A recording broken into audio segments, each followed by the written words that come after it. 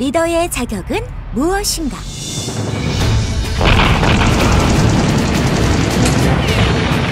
진격해야 합니다. 아닙니다. 후퇴해야 합니다. 도대체 어떤 결정을 내려야 하지? 어리석은이라고. 리더의 자격은 바로 공포다. 두려움이 조직을 이끄는 열쇠인 것이지. 고양이 새끼. 언젠가 뒤집어주마. 그게 아니지. 우수한 참모들과 함께 해야. 된다고. 조직의 힘은 자율성에서 나오는 법. 리더는 그저 묵묵히 뒤에서 리더의 자격은 단 한 가지. 지구와 사람과 동물. 인도 기러기의 리더십. 학명 안세르 인디코스. 몸 길이 72cm. 몸무게는 1.8kg에서 2.9kg이며 척삭 동물이다.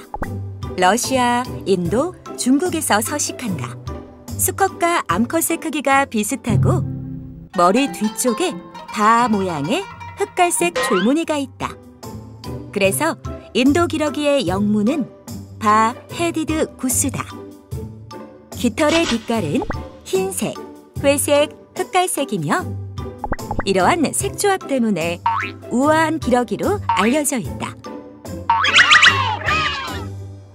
보통 호수나 늪에서 서식하지만 사실 고립된 지역이나 섬을 더 선호한다.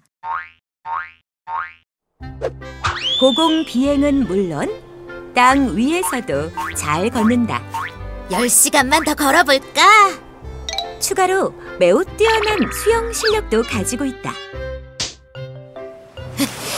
수영만큼 쉬운 것도 없지. 평소에는 낮은 콧소리를 내며 여유를 즐기고 출출한데. 주 먹이는 샐러드 먹을까? 식물성 음식이지만 필요에 따라서 야간에 사냥을 시작해볼까? 애벌레, 진해, 지렁이 같은 거기냐! 무척추 동물을 사냥한다. 더 이상 당하지 않는다. 수련의 성과를 보여주마. 받아라! 또 때때로 갑각류를 잡아먹기도 한다. 뭐라고? 좀꿈문 인도 기러기는 독특한 사회 시스템을 가지고 있는데 콜라니! 바로 콜로니를 조직한다는 사실이다. 콜라니! 콜로니를 조직하는 데는 두 가지 이유가 있다. 인도 기러기는 치킨 카레 맛이 나요. 첫 번째는 정말 맛있겠는데? 천적으로부터의 보호. 두 번째는 겨울을 이겨내기 위한 여정의 준비다. 인도 기러기는 겨울을 나기 위해서 히말라야 산맥을 넘는 철새다. 자, 자! 집중!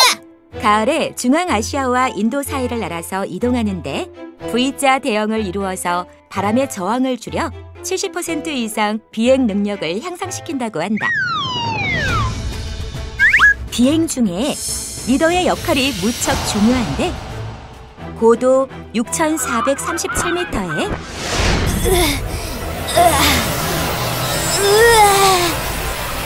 8,000km의 이동거리 게다가 낮에 강풍을 피해서 강행하는 야간 비행까지 이런 악조건 속에서 리더는 빠른 판단을 해야 한다. 잠깐, 잠깐, 잠깐, 정지! 동료가 추락했다! 실제로 인도 기러기는 낙오된 동료가 합류할 때까지 지켜준다.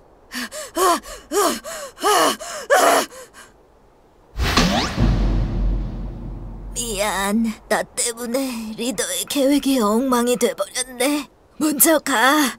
곧 따라갈게. 아니. 자, 이제 리더가 교체됐으니까 계획을 다시 세워야겠지?